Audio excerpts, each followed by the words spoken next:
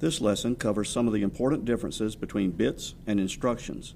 This is where we left off with our last lesson. Before we get started, let's add in a simple rung. And now watch this area as we add in another output device. Here we've got a new set of contacts and a new output, lamp F, on our light box to use for our examples. And of course we'll need a new bit for lamp F, and notice that the bit just happens to contain a status of 1.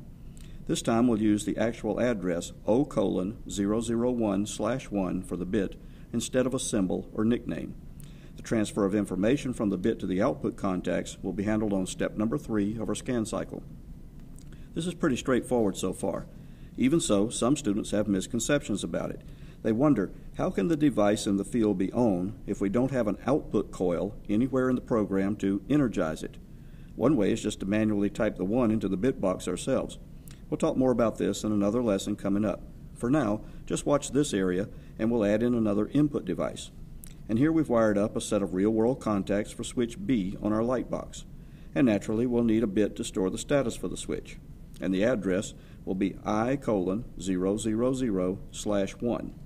The transfer of information from the switch to the bit will be handled on step number 1 of the scan cycle. And now switch B is available to use in our examples. And now let's add another simple rung we'll need an address for this instruction. And let's say that we decide to use the address O colon 001 slash 1 for the new output device, lamp F, that we just wired up a few minutes ago. And the address for this instruction will be switch A again, not our new switch B the way you might have guessed. And naturally, the new rung will be executed as part of step number two in the scan cycle. And basically what we're doing here is just adding in more ammunition to use for the examples that are coming up. Now let's highlight some of the items in our sketch. Notice that four are highlighted in blue and four are highlighted in yellow. Take a good look, and now we've removed everything except the highlighted items and the processor that they're located in. We'll focus on the blue items first, and notice that each one of these is a box, and that each box contains either a 1 or a 0, which fits in perfectly with our definition of a bit. In other words, each one of the blue items is a bit or a box located inside our PLC processor. Now let's focus on the items that we've highlighted in yellow. These are instructions or commands located in the ladder logic program. And here they are together. Unfortunately, many people and some official books confuse the two terms bits and instructions. Maybe that's because they share the same address assignments. But regardless, bits do one job and instructions do another job. You need to understand the differences between them. And here's what they'll look like in the RSLogix software.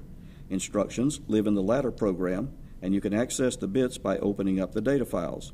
Many of your hands-on troubleshooting exercises in the boot camp will involve forcing inputs and outputs and toggling bits and understanding the effects those operations have on various instructions in the ladder program.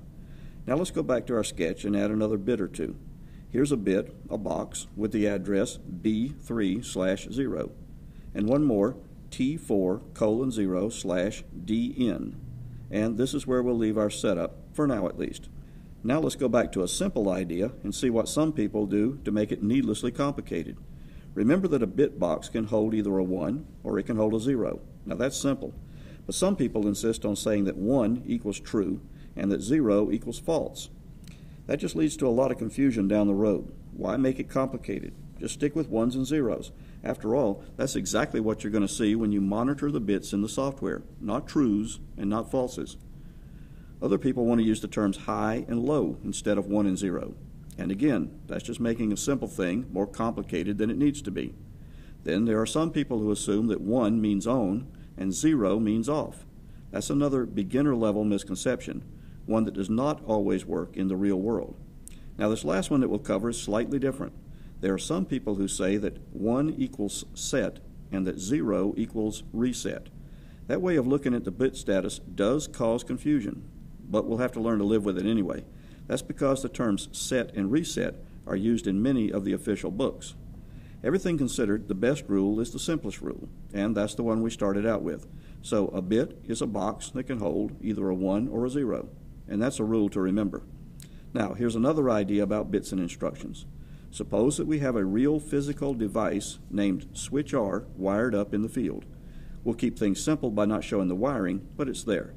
Now consider that we've also got a bit, a box, named switch R located inside the processor.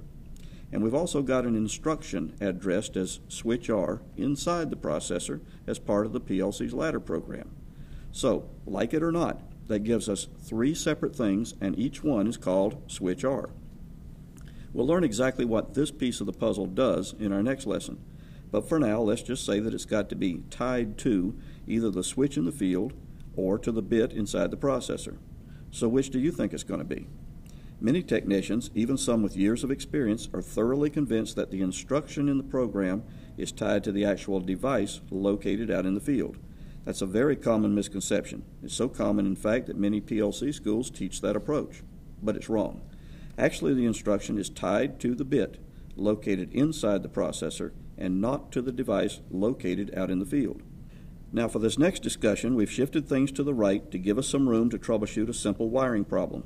Many people explain the status of an input bit by saying that when the switch is on, the bit contains a 1, and when the switch is off, the bit contains a 0. That explanation usually works okay until a problem comes along. Here we've got a problem. The neutral wire is broken, and that's why the bit contains a 0, even though the switch is in the on position. When you get right down to it, that old switch on 1, switch off 0 rule just doesn't work for troubleshooting purposes. That's why we never use it in our boot camp classes, since troubleshooting is a big part of what we teach. Rather than the switch position, some people go by the voltage signal instead. There's nothing wrong with that approach for troubleshooting as long as you set up the voltage test correctly, the way we have it here. The zero volts reading shows that there's something wrong with the input circuit, and that's why we have a zero in the bit, even with the switch turned on. Setting up the meter like this can lead to some incorrect conclusions, unless you really stay on your toes. It's fairly common practice for a technician to clip one of the voltmeter leads to a known neutral connection and then move the other probe from one point to another while looking for voltage. Quite a few technicians have been tricked by this setup.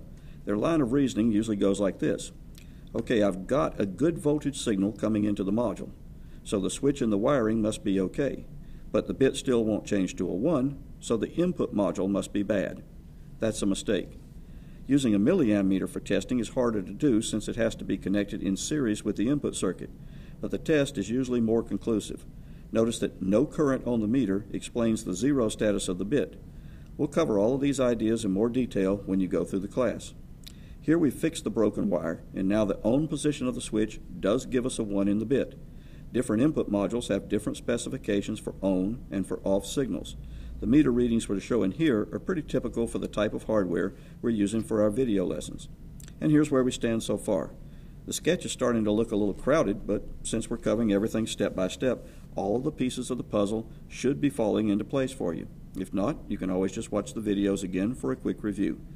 The main thing that we're developing throughout all of these lessons is a mental image, a picture in your head, of a left to right flow of signals through the PLC.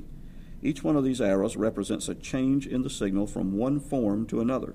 This detailed, systematic method of teaching PLCs is one of the main reasons why our boot camp approach is so effective, even for students who've been through other training programs with poor results. And now we're ready for the next lesson.